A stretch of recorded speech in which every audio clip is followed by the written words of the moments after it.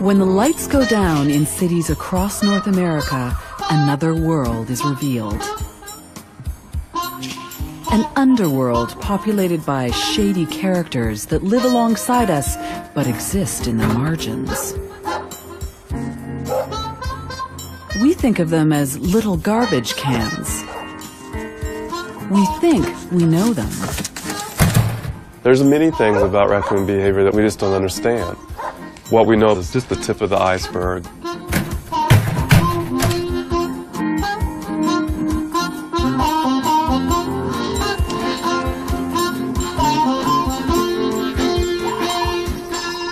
With special cameras, we enter the hidden, intimate world of a young raccoon family to see how this raccoon mother's careful teaching transforms her helpless kits into self-reliant scavengers, able to defy the dangers of big city life. Urban raccoon populations are exploding, and city life is changing. We were very close to him. We're going to loop back around again and see if uh, maybe he's not poking his head out in between some houses. Stan Gehrt is a wildlife biologist and one of the world's foremost experts on raccoon behavior. He's been tracking these animals for over 25 years, and they never cease to amaze him. One of the things that's become very clear is they have this wide repertoire that allows them to, you know, be so successful, but also makes it a challenge for us to try and capture all of that and understand it. So in other words, you and I might study raccoons for a whole year, and we may see four or five types of behavior. That may not get us anywhere to understanding what raccoons are doing in another part of the state, or just across the town, or in another person's yard. Their behavior is still really a mystery to us.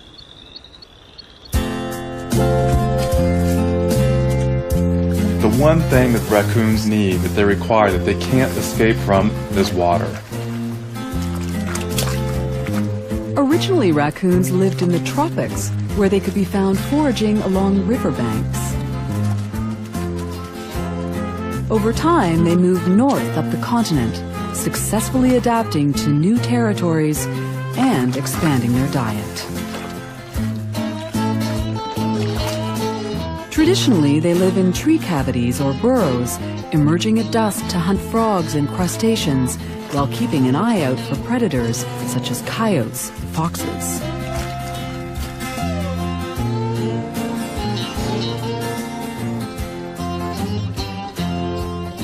Barns have aided their northern migration, offering refuge from cold northern winters. Now, raccoons have been found as far north as Alaska.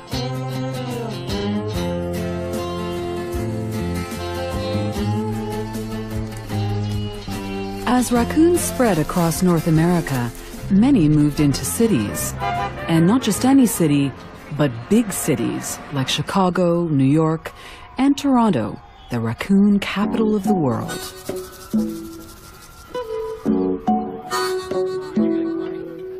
Raccoons thrive alongside us in a parallel world, which our special night vision cameras will reveal for the first time. In terms of behavior, country and city raccoons have adapted into two very different creatures. Where shy, reclusive country raccoons retreat from urban sprawl, bold city raccoons amble towards it. There are now 50 times more raccoons living in Toronto than in the same area in the surrounding countryside. So the question is, are we encroaching on raccoon territory or are they encroaching on us?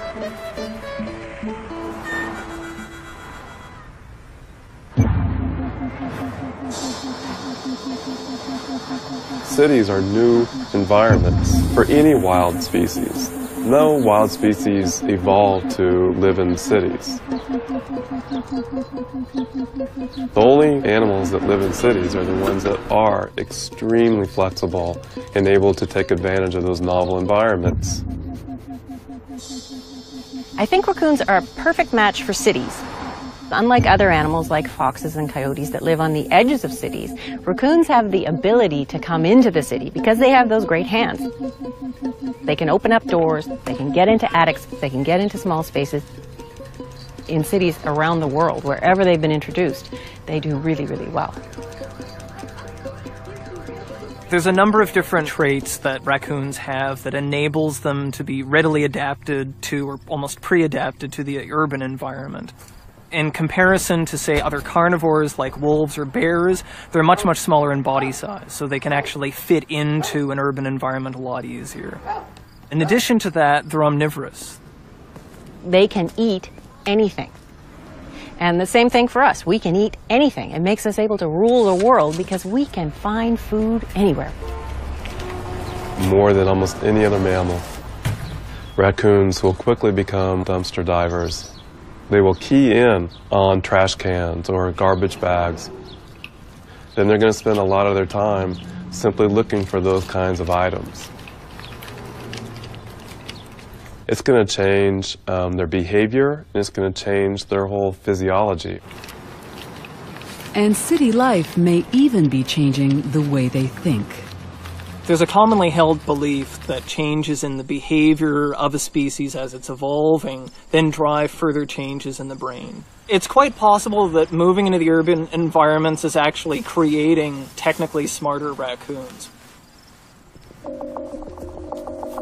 Life in the city could be sending raccoons down a new evolutionary path.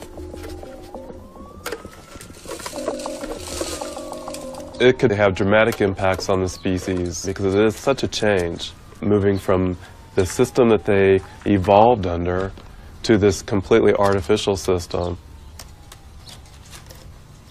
I'm not sure what the ultimate outcome is going to be. It is an experiment, an unplanned experiment that's going on right now.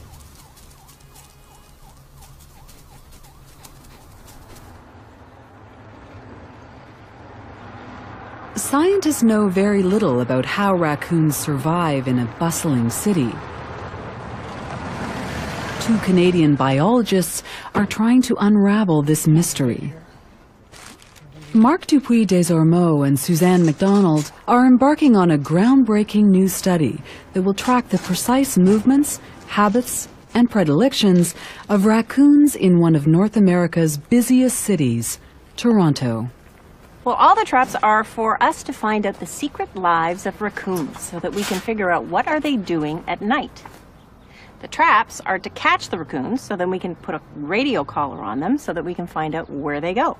Well, there's been all kinds of studies where people get a GPS marking every three hours or five hours, but we're going to get some very, very fine uh, data. And that's something that hasn't been done before. Their plan is to trap and put radio collars on raccoons in three different neighborhoods spread across the city. The collars will register a GPS location every 5 to 15 minutes and give the scientists a roadmap to raccoon travels, 50 times more detailed than any data gathered to date.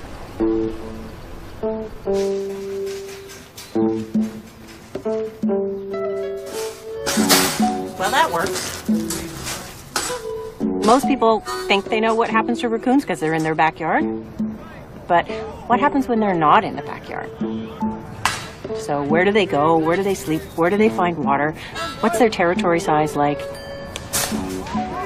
There's all sorts of questions, and nobody knows what the answers are.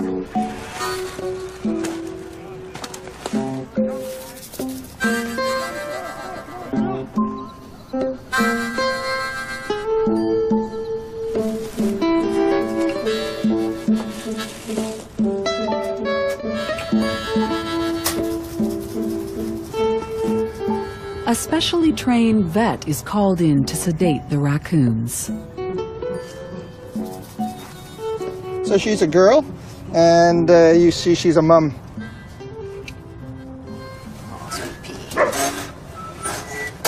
And she's nicely relaxed there. I'll stick her in the. Uh, yeah.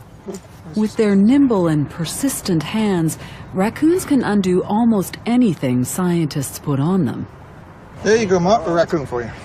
So I don't know on the age. She's not uh, uh, ancient animal, but uh, a lot of the raccoons have really worn teeth uh, once they've been around for a few years, and they've been eating all sorts of rubbish. Yeah, babe. After months of brainstorming, the team has designed what it hopes is a raccoon-proof collar. If I have them too loose, they'll just pull it right off. It's a very nice collar. You look lovely. You look lovely, little one. These collars are cutting edge. They house a mini hard drive that stores a wealth of data. And they also transmit a VHF signal that allows Mark to track the raccoons in the city and download the data as his study progresses. Then I suggest Suzanne stays behind just to keep dogs and people away, and we go and uh, find somebody else.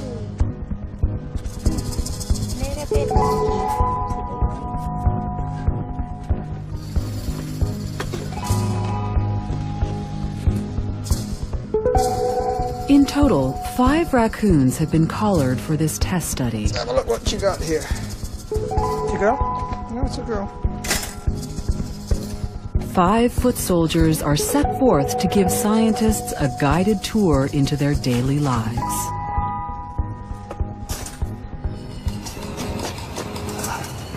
And give us a window into a world that's long been hidden from view.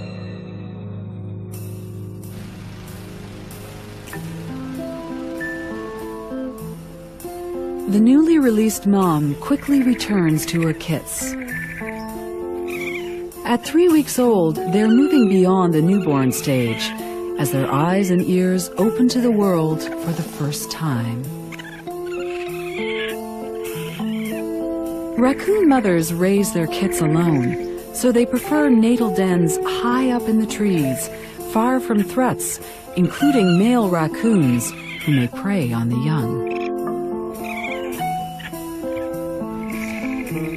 Any of the animals that spend time with their mom through their development are generally thought of as being smarter than other animals.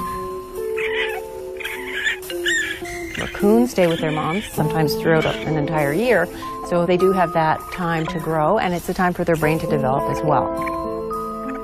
Raccoons develop quickly and are able to adapt to a variety of different landscapes.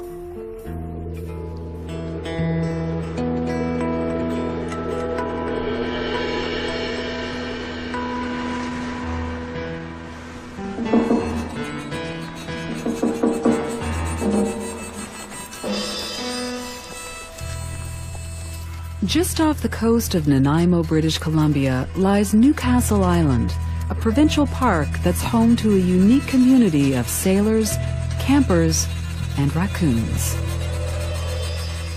Raccoons would have to be placed right up there as one of the most adaptable animals on the planet. That's why they're so successful at quickly adjusting to new and novel environments. Raccoons have a habit of using their front feet in terms of foraging. In fact, they have a very strong sense of touch. Part of that is actually an adaptation for searching for food under muddy water.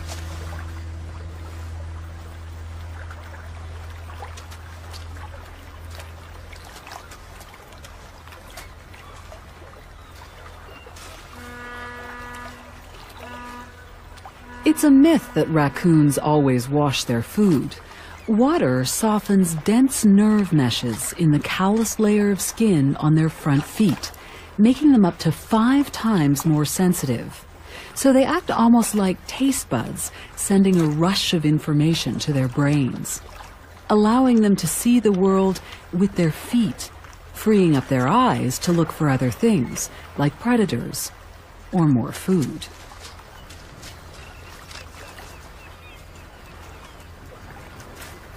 Everyone knows that they use their front feet in ways that almost no other mammals do. It's not a common thing to have this kind of sense of touch in the animal kingdom. Outside of primates, it's hard to find any other examples. The raccoons on this island demonstrate what scientists have long believed that there's a strong link between an animal's ability to manipulate objects and its intelligence.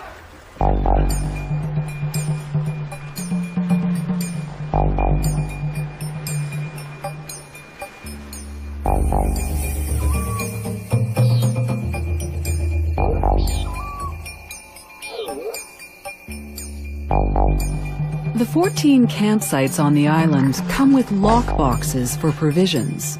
And if campers fail to use them, the raccoons here will teach them to be smarter.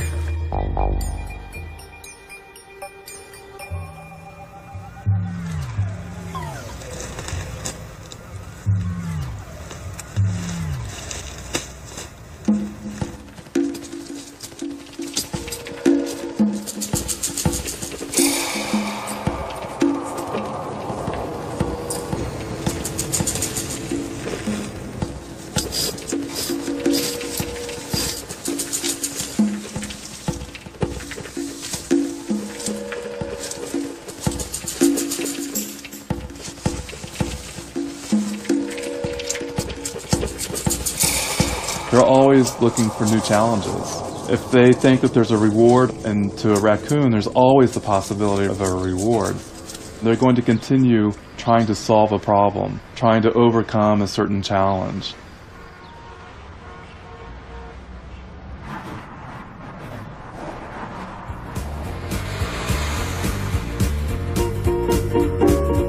Back in Toronto, the kits are six weeks old and big enough to start exploring.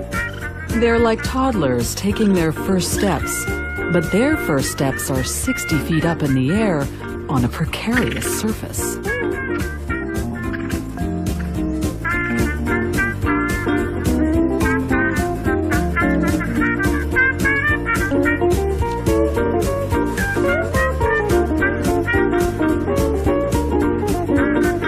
Their vigilant mom rarely lets her kits out of sight. Over the next year, there will hardly be a moment when she's not teaching, feeding, or protecting her young.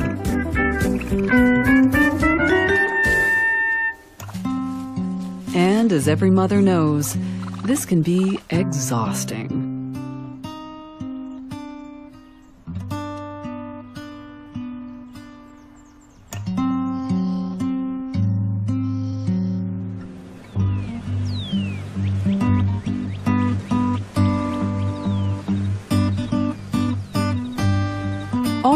Play is training the kits for their biggest challenge yet. Their mom gathers them up to leave the security of their natal den and descend 60 feet head first into the darkness for their first touch on solid ground.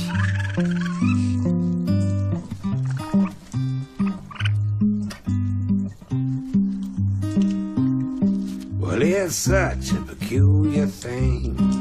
We never know what tomorrow brings. And I never knew love moves at such a frantic pace. Well, I'm head over heels for you. Feel like I've got the stomach flu. And if this is heaven, heaven is a scary place.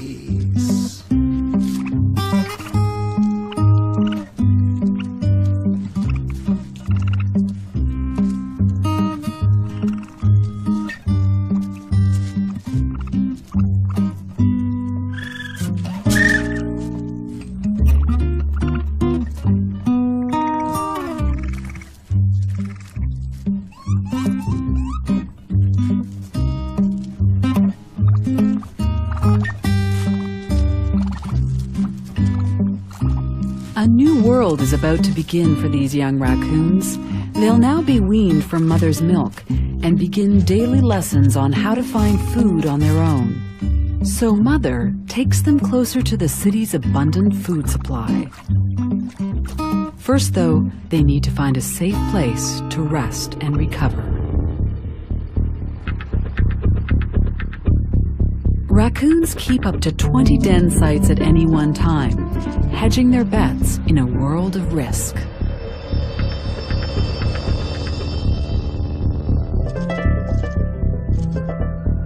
Propelled into an unfamiliar world, these kits have a lot to learn, and quickly.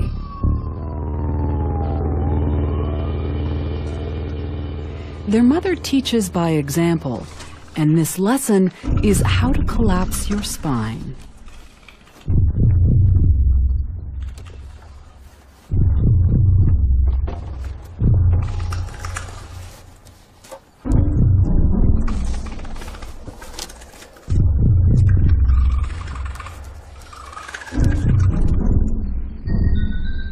As the city wakes up, the lesson becomes more urgent. So Mother demonstrates again.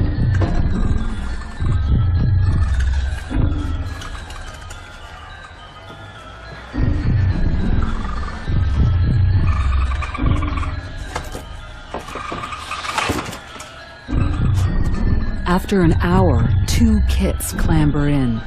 Three stragglers remain outside.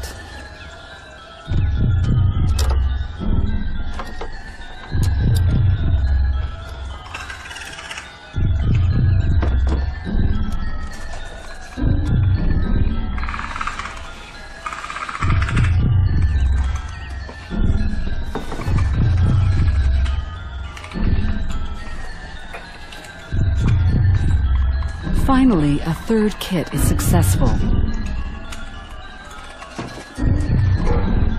But after struggling for over two hours, exhaustion is setting in.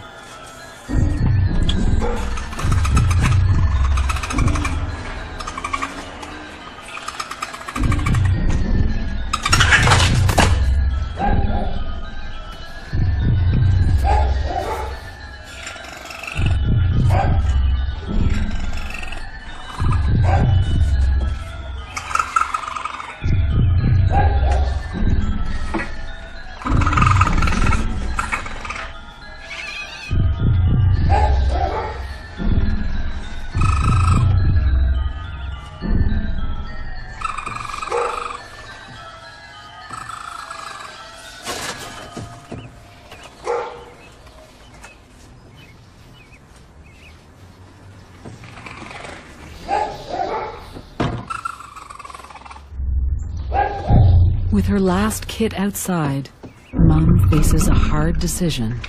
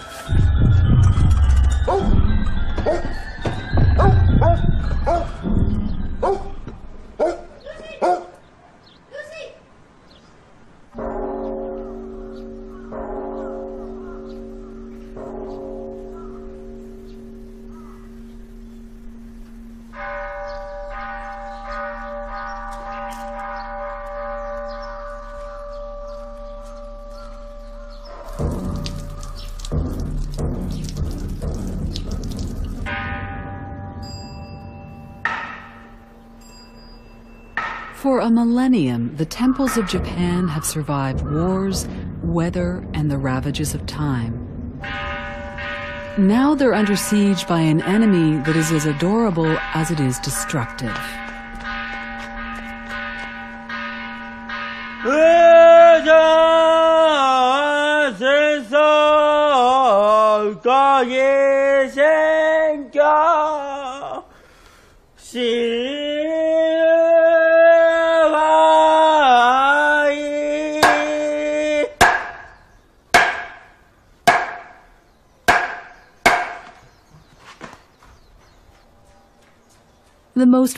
Prized temples are high in the mountains above Kyoto. Here, Buddhist monks pray, meditate, and match wits with raccoons on a daily basis. This temple has been protected by our ancestors for over 750 years in a matter of a year or just a few months, the destruction by raccoons is almost unthinkable. Raccoons have damaged over 80% of the temples here, clawing and chewing out dens and rotting the structure with their feces and urine. The monks, at wit's end, have enlisted mammologist Mieko Kawamichi to help them in their fight. 今、日本中が Right now, all over Japan are buildings, farms, fields, and even our native wild animals are all under attack by raccoons. The temples and shrines in Japan have been standing for over 1,000 years, and it's impossible to replicate those buildings. And now, raccoons are destroying them. Raccoons are not indigenous to Japan, or anywhere even close to Japan. But that hasn't stopped them from leaving their mark all over the country. Here, rascal!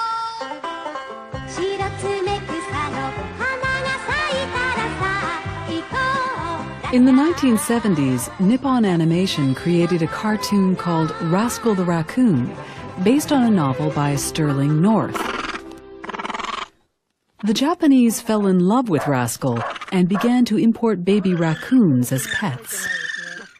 At the peak of the cartoon's success, Japan was importing as many as 1,500 raccoons a year from North America. After a year, the raccoons grow and they become violent to people, biting and scratching. The people grew tired of the raccoons and began to discard them. About the time, there was a cartoon on TV about a raccoon called Rascal. And at the end of the story, there was a scene where Rascal was released to the forest. And then people who were watching this thought, this is the right thing to do. The raccoon should go back to the forest. Thousands of these raccoons were released into forests near temples and shrines.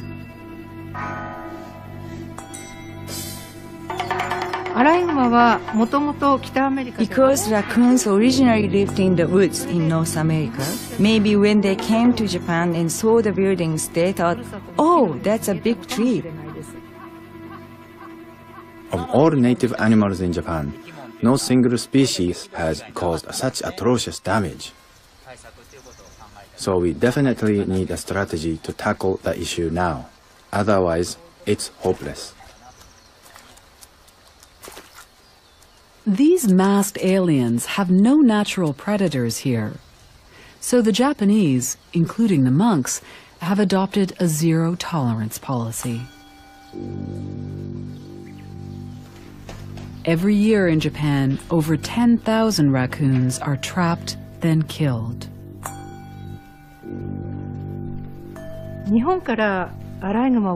It's impossible to get rid of all the raccoons in Japan now. My job is to kill as many raccoons as possible before the problem escalates further. Unfortunately, that's my mission. In their quest to rid the ancient temples of raccoons, the Japanese are turning to modern German engineering.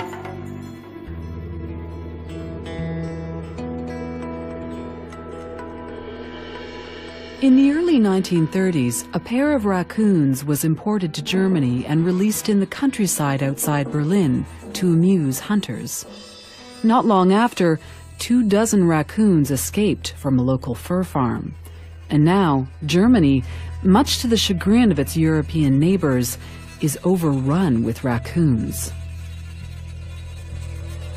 The city of Kassel in central Germany is home to the largest raccoon population in Europe, with up to 100 raccoons per square kilometer.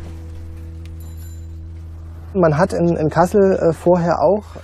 we tried to do here in Kassel at first was to intensively hunt the raccoons. We tried to push them out of the territory. Despite our great efforts, this didn't work. That's when we decided to take a scientific approach. After studying the movements of Kassel's raccoons, scientists noticed that 70% of the time, a raccoon caused damage or got into a house by climbing up the downspout. Biologists Frank U. Michler and Berit Köhnemann are investigating raccoon behavior. Michler was part of the team that invented some simple devices to outwit Kassel's ring-tailed invaders. You have to know how a raccoon climbs up on a drain pipe. He climbs up by grasping around it and crawling up. And if you mount this protection device on the drain pipe, he can't grasp around it any longer. He can't climb up further. And that's why it's over at this point. Soon after the scientist's discovery, almost every house in Kassel put up some type of drain pipe protection. And some are really uh, effective, really good, and some are uh, uh, more good for raccoons to climb. In time, Kassel's wily raccoons figured out how to climb over the best of these devices. That's when scientists turned to one of Germany's most famous hunters for help. Frank Becker began collaborating with scientists in 1996, and the result has been some of the most effective home protection devices to date. In the last 10 to 15 years, the raccoons have adapted very fast to the urban space. And we are now dealing with the 8th or 10th generation of urban raccoons. And the first thing they learn is how to climb up the drain pipe. Becker's years of experience as a hunter give him insight into how a raccoon moves through the urban landscape. I have to see it through their eyes. I have to know what the raccoon can do. I have to think like a raccoon. A raccoon can of course climb up like this. And to prevent this, I mounted a blocking piece up there. And then he can't grasp behind here any longer. And I added a plexiglass plate, so the corner is now protected too. That's essentially my system. It's the same as a hand. It's a power struggle to find out who's better.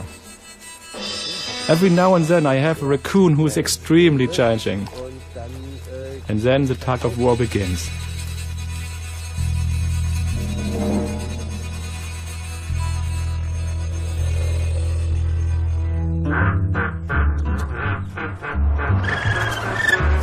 Back in Toronto, the three month old kits from our study are beginning to explore the world on their own. Life is such a mystery, but now it's all so clear to me. And the world has opened up for me now. Animal play looks like it's just a lot of fun, but there are really important aspects that come out of play. It actually helps the animal learn how things work. They test out the physics of the world. They learn what to do and what not to do. I can see it in my face. A new world has opened up for me now.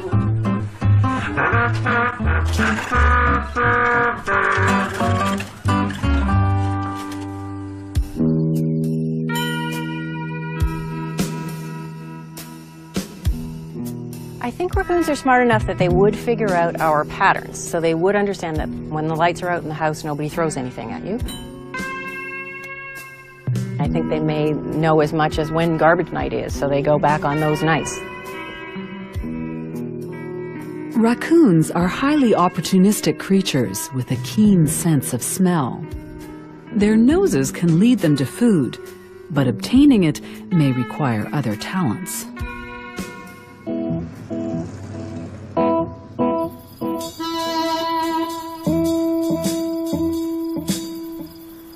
They're attracted towards the smells. That's the instinct part of it trying to work out how to open these things is sort of difficult to discern how much of this is learning and how much of it is instinctive.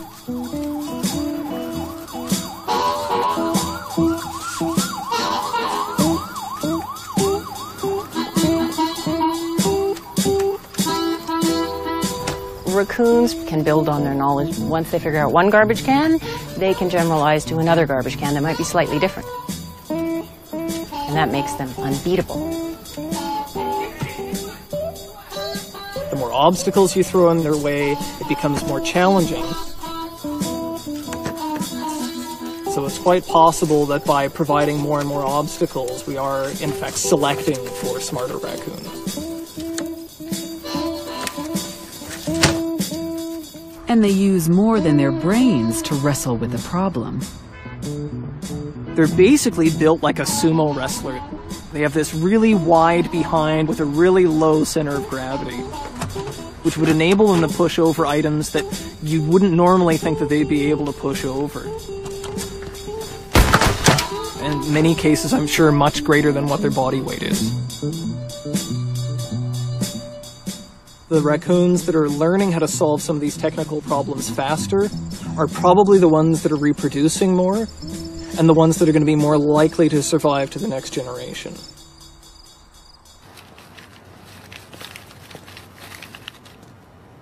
Raccoon mothers pass their technical knowledge on to their young. Tonight's lesson how to find a good meal close to home. At four months, the kids from our study have already learned that garbage bins can be a prime source for food.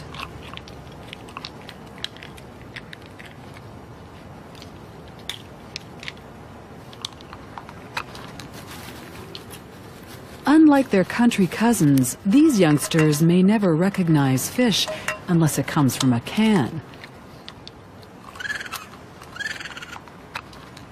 Given the chance, raccoons will eat almost anything. They're omnivores, and that pushes brain development. Because not only do they have to recognize a wide variety of food, they have to figure out how to access and eat it too.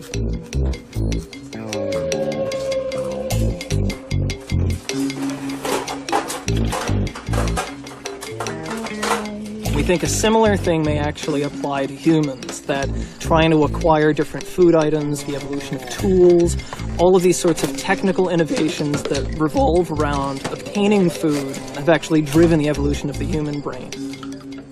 And a similar thing may have happened in raccoons.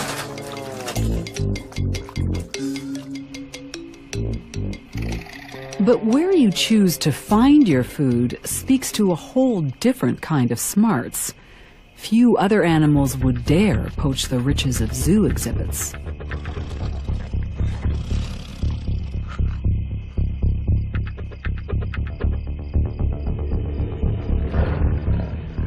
Raccoons are very curious, and I think most curious species are ones that can afford to be curious. So if you are a predator or you're pretty high up on the food chain, you can afford to go and look at new things. If you are a prey item, like a bunny or something like that, you don't want to be too curious because you might be dinner. So I think raccoons are kind of high up there and they can afford to be curious. In some cases, their interest in uh, taking advantage of a zoo might be considered intelligence. In other cases, it's foolishness, depending on which exhibit it is.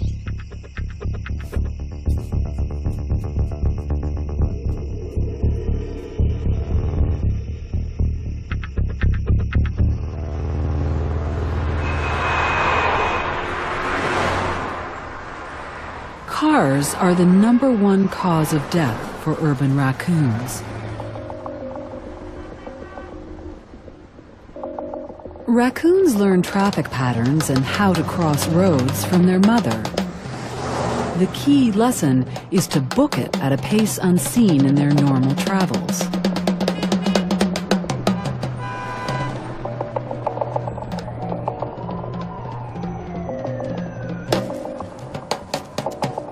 In order to safely navigate through cities, raccoons have developed their own secret highway system.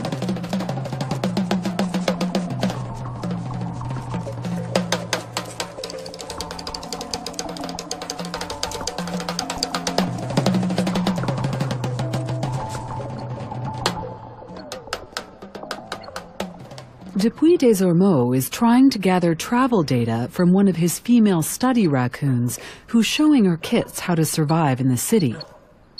To download the data, his antenna needs an unobstructed signal from the raccoon's collar for at least 15 seconds.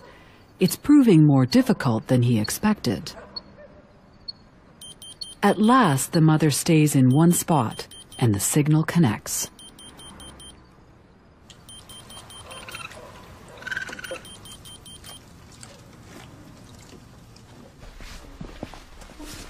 Here we are. In Chicago, raccoon expert Stan Gehrt's research has debunked the myth that raccoons are solitary, showing that young males often travel together and females den together. You can see there's pretty much a highway going through here. But one thing Gehrt has yet to gain a full picture of is the complex ways raccoons communicate with each other. It's difficult to do because they're nocturnal and it's very hard to watch their behavior. Gehrt and his team have set up feeding stations equipped with night vision cameras and timed releases of cat food.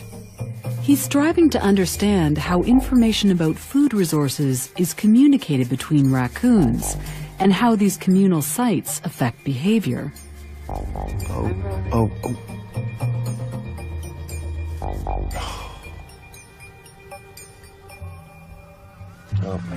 He came back.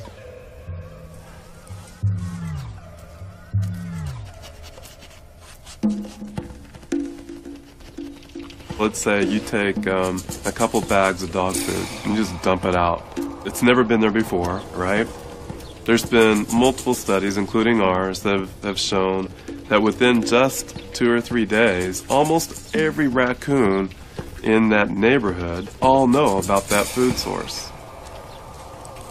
And that's the big mystery about raccoons. If they were really as solitary as what everyone thinks they are, how would they all find these things so quickly?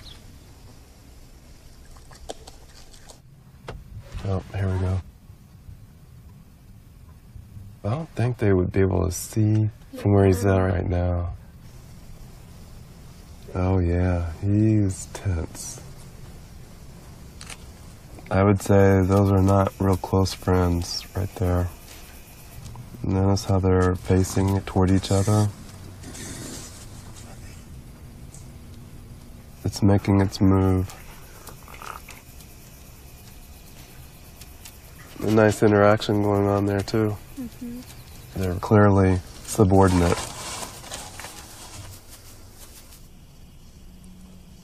As mysterious as the raccoon social system has been for us in terms of their relationships to each other, even more mysterious is how do they relate to other species. That's basically unknown at this point. Gehrt recently began the first research into how cats and raccoons interact around communal food resources. The relationship between raccoons and cats is really fascinating because that's something that has not had a long evolutionary history. So far, it looks like cats generally will, will sit and watch the raccoon, but you'll never see raccoons giving up a feeding station for a cat. Gehrt has discovered that urban food sources such as garbage or pet food bring together a variety of creatures that until recently would rarely have been in such close contact. This increased contact escalates an animal's exposure to contagious diseases and can cause the diseases to become more robust and infectious. A recent outbreak in the dog population in Chicago showed how frightening this can be. So these were dogs that were vaccinated against the traditional strain of canine distemper, all of a sudden dying out of nowhere. Um, it turns out that more than likely the, the, the best explanation for that is that that new strain came from the raccoon population because we've increased their amount of contacts between individuals and they're basically transmitting this virus back and forth at a much higher rate than what they're normally um, supposed to do. The diseases raccoons carry can be transmitted to dogs, horses, even humans. The most dangerous of these is raccoon roundworm. It doesn't affect raccoons, but they excrete the parasitic worm in their feces. For those exposed to it, this parasite can cause neurological damage or even death. Raccoon roundworm is a really interesting parasite in that the, egg that we need to be so worried about, that's what infects us. It's very resistant, so it's very resistant to hot temperatures, cold temperatures, even freezing doesn't kill those eggs. As city life draws us closer to raccoons, it exposes us more to the danger from these parasitic eggs as they linger in raccoon feces, in our attics, garages, and our yards.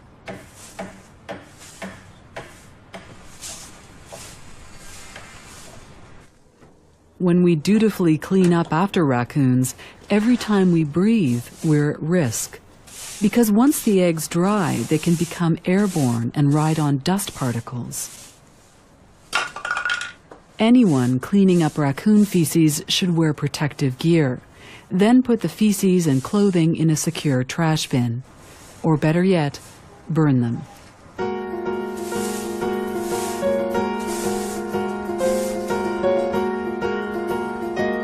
Two months have passed since the radio collars went on the raccoons. Now, Dupuis-Désormeaux sits down to review the data for the first time with Professor MacDonald. In terms of accuracy, you could say the data is very good. This is very hard to follow something that has so many places to hide. If we look at one day, so if we looked at, say, let's start at 6 in the morning. So there she is. She's in the alleyway at Arundel. Yeah. Or what did you say? Arundel. Arundel. Every 5 to 15 minutes, each caller registers a signal that can be pinpointed on a map. By joining the points in a representative line, the scientists can follow the daily travels of their raccoons. This is the first time anyone has successfully tracked the exact movements of raccoons in a city. What I'm seeing in this data is that it's a tiny little area. And we've got 1,100 positions, Okay. and they're all within a three block radius. That's it. For how long? For This how is many? for a month and a half a month and a half. of data. That's and a never really move. small home And they range. Don't go to the water. They don't cross any of the major streets. So maybe that's what defines the edges of their territory. I do think the major roads is really important because for most species, a predator defines where they go. And the only predator for these raccoons are cars. And so that's the only thing they really have to pay attention to. And if they are paying attention to that, that's how they're staying alive. Well, the data to me jumps out by saying, look, we don't cross major streets. Look, we don't need a source of water like a river. We don't need an actual wild area. So it looks like they don't need any of the, the wildness. They're quite happy to be the city raccoons.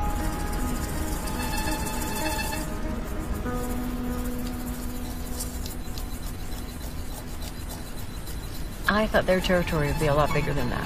Personally, I really thought they would range over more area. Just from raccoons in my own backyard, I tended to think they came back once a week or so, so they were off somewhere else, but it looks like they probably come back every night. They just Yeah. don't make the same noise every night, so I don't know they're there, but you know, I'm I'm quite surprised by these data. It's really interesting.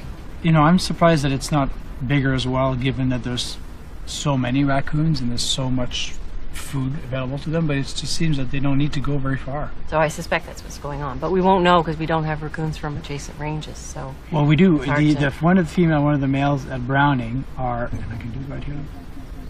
I'd like to see one with babies. This one has babies. Ba, ba, ba. For this particular female, we found that she liked to den up in garages, sheds, always very well hidden. That's really um, interesting.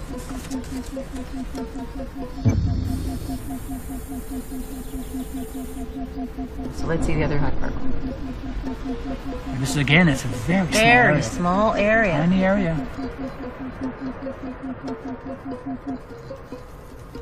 They don't They ever. don't ever go in the park. There's actually a point or two inside the park. You see right on the edge. Probably of the park. garbage cans. Yeah. They really are urban. They don't like the parks at all. Maybe there's a Maybe a more dominant territory. one that has Yeah. the park and Maybe. keeps the other one out. But there's not that much in a park compared to a backyard, I would think.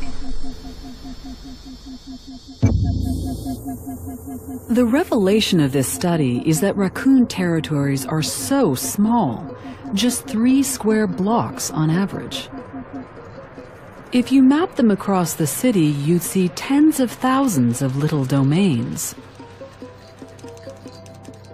Urban raccoon populations have grown 20-fold in the last 70 years. In those few decades, raccoons have changed more than during the previous 40,000 years. The raccoon is constantly changing, even though physically you wouldn't see any major changes in them. Physiologically, there could be changes. They adjust to that urban lifestyle. And so one of the first things that we notice is that their teeth decay very quickly, just like ours do. They become very lazy and very fat. And so in terms of their heart, their blood pressure, that is a price that they're going to pay, just like a lot of people.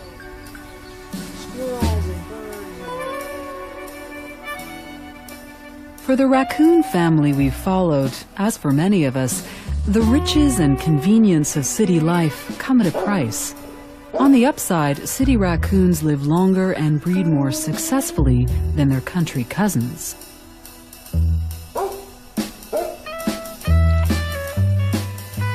It's possible that some of these changes in behavior that you see between rural and urban raccoons is causing some sort of change in the brain. But if we look back at them in, say, a couple hundred years where we have sufficient generations, we could actually see a very, very different brain structure brain morphology between these urban and rural raccoons. Only time will tell the long-term effects this move into cities will have on raccoons and on the people who live so closely alongside them. I think raccoons have changed because they've lived with us in cities. So I think evolutionarily, they're getting to express a lot of behaviors that they wouldn't express in the wild. They have those natural abilities anyway, but the cities sort of let those abilities flower. Ironically, by providing them with all the things that we hope to outsmart them with, we may be building the uber raccoon. So I think that in a few generations we may have really, really smart raccoons, and then we're doomed. I think they're just going to take over.